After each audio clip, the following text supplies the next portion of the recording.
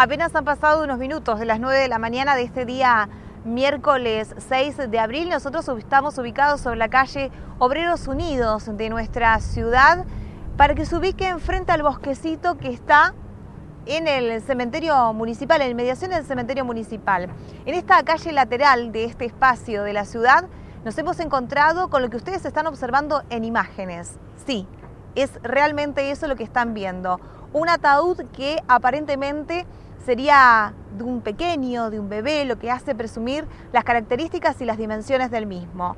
Ustedes observarán que están contra uno de los paredones, que aparentemente por dentro está sucio con una resina o algo similar a eso, y la parte de arriba, la tapa, está unos metros más adelante, al costado justamente de este presuntamente pequeño ataúd. Uno cuando ve estas imágenes eh, obviamente genera un montón de sensaciones que llevan desde las supersticiones hasta preguntarnos realmente qué es lo que pasó con esto.